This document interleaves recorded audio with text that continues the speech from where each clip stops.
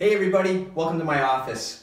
Um, want to take a second to go through an exercise. It's called the founder move. It's uh, foundation training. And I have an expert here, uh, Geraldine, who's going to talk me through the founder. It's incredible for low back strengthening, which we call the posterior chain.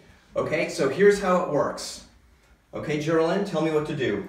All right, so we want you to get your feet hip width apart and you have to make sure they're parallel to each other. They can't be pointing out in either directions. Then what you need to do is soften your knees slightly. I want you to push your chin back. I want you to soften your shoulders.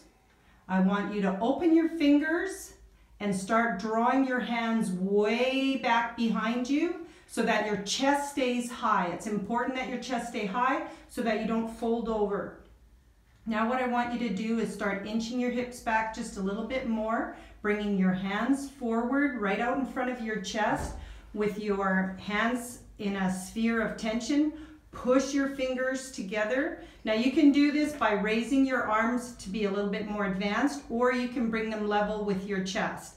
Now inch your hips back a little bit more and I want you to make sure you're pushing your feet in, your heels into the ground and gripping your toes so that you're anchoring so that you have lots of stability as you're pushing your hips back. I want you to make big, deep, long breaths. That's decompression breathing while you're doing these exercises. A big breath in and blow it out. And when you blow it out, I want you to make sure your belly button is coming way in. Bring your arms slowly back behind you. Continue to decompression breathe. And lift your chest and straighten right up. Excellent. Oh man, that, you can really feel that in your low back. Okay guys, want you to try that and um, we'll, we'll continue from there.